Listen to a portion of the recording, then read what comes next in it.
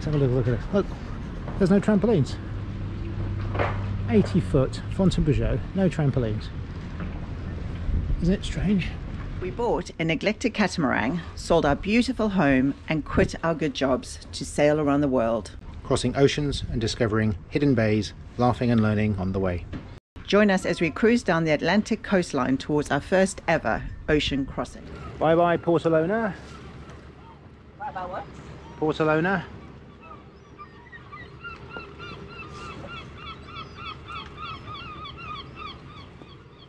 Bye bye, K Shum.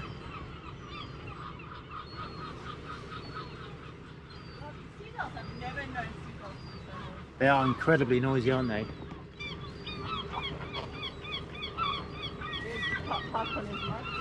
Parked on the mud again. Yeah, they park here. Look, they park there, and then the tide goes out, and they get they get they get totally beached, and then they sell their product directly to the locals.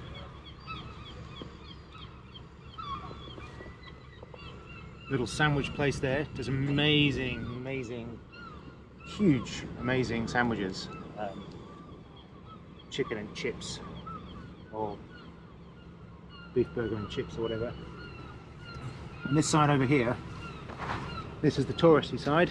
Okay, so there's the entrance or exit of Port Olona at Les Sables, and this is the big Sable. Uh, sea is in at high tide, so you can't see the beach too clearly. It goes all the way around. It's a beautiful big beach, very active, lots of stuff going on all the way around up to here. And there's some rocks. There's a, a Devil's Passage or the Hell's Passage. Um, yeah, fun place to come. Very busy, very busy, very crowded. So the battery died there. I'm not quite sure how much you got of that, but we have just left Les Sables and d'Olonne and we are going to La Rochelle. La Rochelle? La Rochelle. And you can probably tell we've got our jackets on. It's the 4th or 5th of August. It's cold. Not sure what's going on with this crazy weather, but we've got, I won't go out there, it's too windy for you. Um, we just had a squall of about 25 knots. We're getting used to these squalls, aren't we now? Um, the sea state, as you can see, is lots of lots of white white horses. I think we've got wind against tide at the moment. Um, but we've been rocketing along. I mean, we're only doing six knots now, but we've been doing up to eight. We even touched ten at one point, didn't we? But uh, we've got two reefs in the main. There it is. It's flapping around because I've taken off the uh, what I my makeshift downhaul because um, we have no kicker, and we put two reefs in the foresail now. Simply because we uh, we like to sail cautiously. Um, ahead there is a bridge which links the island of Ile de Ré to the mainland, and behind it is a big commercial port. We have the option of pulling in there if we feel unable to proceed. And also here is uh, on the Ile de Ré is a place called, uh, what's it called? San Michael, yeah, little port San Michael, um, where we could possibly take shelter if we choose to. Um, that all seems good. The the swell will obviously increase as, as we get under the bridge because it will be coming from the Atlantic again because it's the island that's breaking the swell so it will get a bit choppy but we've got to go under the bridge, around the corner and into La Rochelle. So that bit there, well, I think we still should be okay. Anyway, we're in uh, we're in Orcaland at the moment. 20, 27 meters, but they have to go through this shallow patch to get to the deep patch. So I guess we're okay. We're um, I am paranoid Pete. Paranoid Pete? Paranoid Patrick. I'm upset Pete.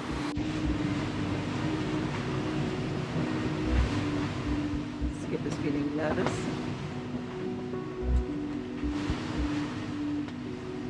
Maybe we're going right for the green cardinal. Yeah, because I want to get around the red one. Well, I, I get that, but going into the green. Okay, well, we, do you see the green cardinal? I do. Very well. And why is... Oh, I see.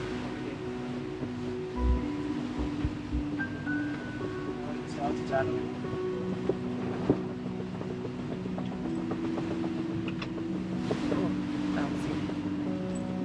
Very bouncy. Apparently was 30 meters. But do you not think we should aim towards the centre of the bridge? I do. Oh my god.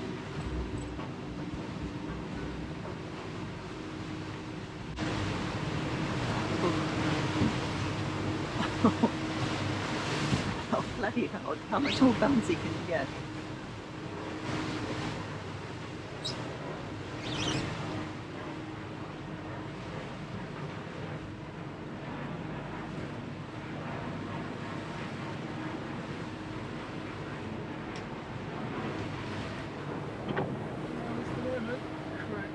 Oh wait, baby, that's not funny. Well done. There's the bridge. Wow. Long old bridge,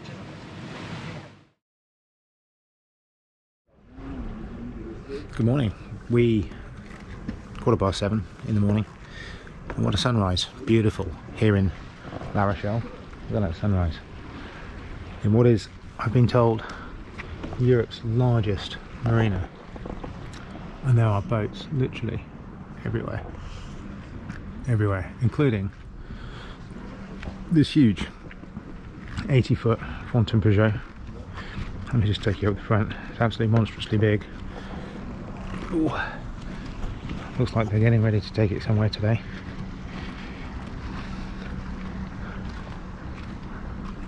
Not sure it's for me. It's huge. But this is the gorgeous, gorgeous, gorgeous, gorgeous setting of La Rochelle. We went to the old town last night. It was very pretty. This marina, there's literally just nothing, nothing but boats. But it's a great place if you want to come. It's a catamaran mecca. And there's just so many boats. I mean, we've got Fountaine Pajots, plenty, Outremer's, Bali's, Excess, Nautitechs. They're just everywhere. So um, it's quite it's quite cool actually. It's quite cool. So um, yeah, I'm being quiet because people are still sleeping. I'm gonna go and head back. And uh, yeah, there's just boats everywhere.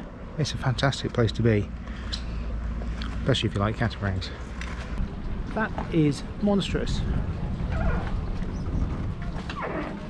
If you think about it, this is a 42 foot catamaran. That's twice the size. I mean, it's ginormous. I mean, it is absolutely huge. And of course, you've got the Neel Trimarans, you've got the Paracats, you've got the Balis. I mean, this place is an absolute mecca. We're gonna have a clo- closer look. I'm just amazed. I've not been able to get on it yet. In fact, I haven't tried, but I'll see if I get a sneaky step on. But it's it's absolutely huge. Let's have a little look at it. Look, there's no trampolines. 80 foot Fountaine Pajot, no trampolines. Isn't it strange? And it's walls. I mean, it's, it is a wall, isn't it? It's like a fortress. And it's got these. I mean, really, it's huge. Absolutely ginormous.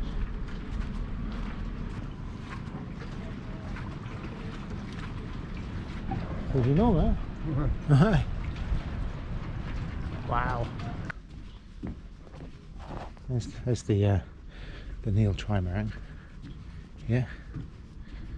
So I must say, I'm actually a little disappointed in La Rochelle. At least Minimes. This is uh, Port Minimes in La Rochelle. It's Europe's biggest marina. The Capitainerie are not particularly helpful. You can't have parcels delivered, and they've only got two tiny little caddies to help you get stuff from the boat and to the boat. And you have to leave your passport or driving license to borrow them. Very restrictive. Um, and outside the Capitainerie, it's just a big car park with. To its credit, there is on the corner here a little sea taxi, sea bus that travels all the way into the old town, and that takes about. I don't know. We took that the other day. It takes about 15 minutes to get there, which is quite nice. It's quite nice little electric bus and smooth ride. And the old town's much nicer, uh, but it's bustling, bustling, bustling. But this part, this part of this part of town is dilapidated. So much activity around her and it's been quite awesome to watch. There must be about 20 people on her and yeah off to Cannes they go so they're gonna have to go down past Gibraltar through Gibraltar. So they'll go past all the orcas. We actually don't know actually her name is there now. Um, they put her name on. But yeah so much attention on that boat but like they said we were on the ferry going over to the old town the other night in La Rochelle and the ferry guy was telling everybody that that's one of the largest and the most expensive and there she goes her maiden voyage I guess In, oh, hello, we're in the Atlantic, uh, big Atlantic Ocean, a little bit of swell. This is the Ile uh, de l'Oleron, I think that's what it's called, Oleron. And on the other side is uh, La Rochelle, which is where we've just left. We have got full sails up, a big mainsail, front sail flapping around because it's in the shade or the shadow of the mainsail itself, even though we've got about 14 knots. True wind. Yeah no we're we're, we're going along. We've got another three hours until we get to the end of land uh or not the end of land forever ever but to the end of that point of land and then we go up a channel to medoc or Royan. Um and this is a monumental day really um because we are on our way to leave france we're going to stop off in a, in a couple two more maybe three more french ports but we are well and truly on our way now to uh, Spain to head down to the Canaries and join the ARC.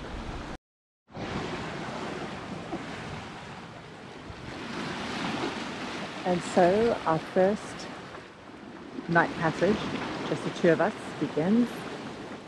It's 8.30 and Brendan's just gone down to have a sleep. He'll be asleep for a couple of hours. My job is to keep us away from the land. Quite big swell going on all day today. We've been on the go now for 12 and a half hours and we probably have another uh, probably another 15 hours depending on the wind to go so we'll get in about lunchtime tomorrow. And it's beautiful. A little apprehensive about our first night sail long long sail just the two of us. But we've got to we've got to do this. So, oh, that's not going to work. Hold on.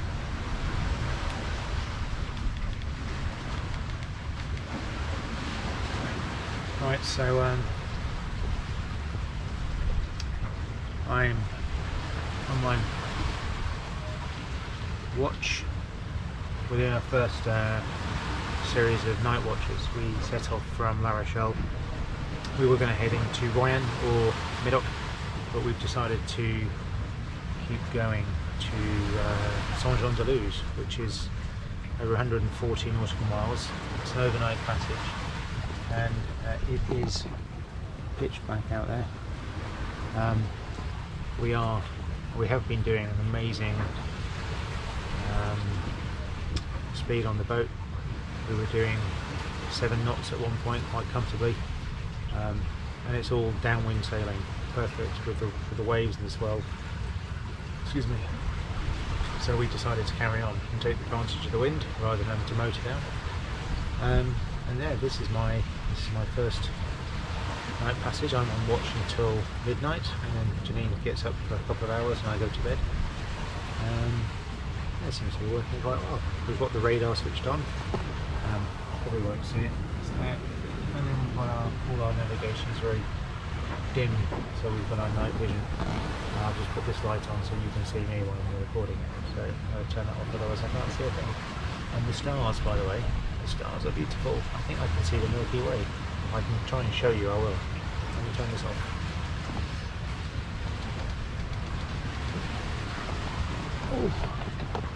There we have our night, night stuff. If you look out here, I don't think you'll see on the GoPro, but oh my goodness, there are so many stars. I'll try and enhance it for you. Well, that was a bit scary. Um, a bit worrying actually. We lost GPS fix and AIS. Um, got a couple of alarms to tell me so, which was good. But I couldn't figure it out. So I had to restart the Axiom plotter. Um, seems to have picked up the GPS fix and the AIS now. Um, the other instruments have lost course over the ground. Um, the winds are, well, the winds continue to be favourable. We've got tide against us now, um, so the boat speed is slowed down to 3.8 knots.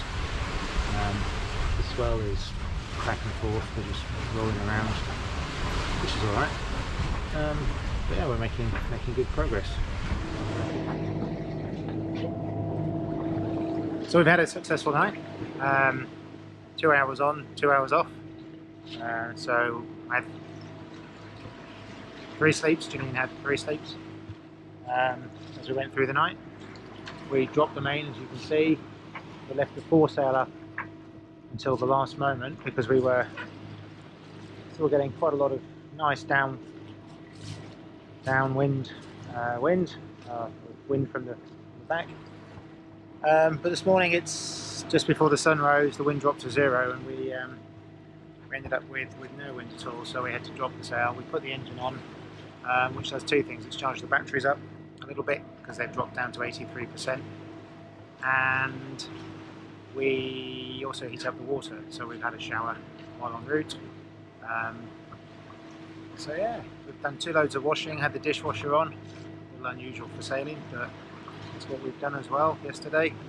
So obviously the solar panels will pick up and kick in now the sun's up, but um, yeah, using 17% of our batteries for radar and everything else overnight and all the navigation autopilots and everything else, kettles that we use, I think that's okay. So we are heading down the French coast, which is rather undescript. It's just one long French coastline. Oh, dolphins playing over there. You see them jumping? He's coming over to see us. Yeah, there's two of them. Oh, oh wow. Mammy? Mammy? Quite a few of them. Loads. Look, over this way as well.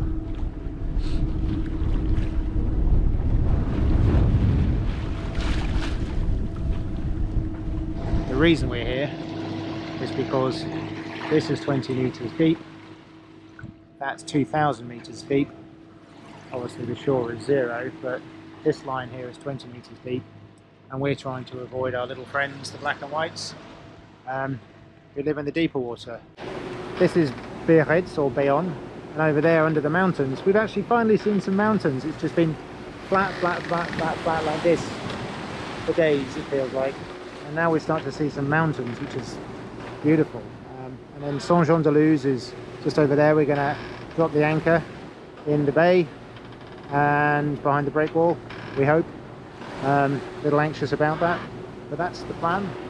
Uh, we have to put the sails away, get the boat ready, and then we can have a We're Here beer. Yay! Yeah, We're Here beer. What a major achievement. It's huge. And we are just, just on the Spanish border, which I am extremely excited Now we can see the Spanish mountains over there. The clouds in the mountains. The greenery, the lush. Everyone's been telling us northern Spain is just beautifully. Just dropped the anchor. We're not sure whether we're allowed, whether we'll get told off. But we will copy that guy there, true north. And we will anchor here. So yeah, so this is Saint-Jean-de-Luz. Yeah. The mountains in the background. And the sunset. After a 36 hour sail, we're both naked. And we're gonna put our feet up, have a shower, and uh, maybe have a glass of wine.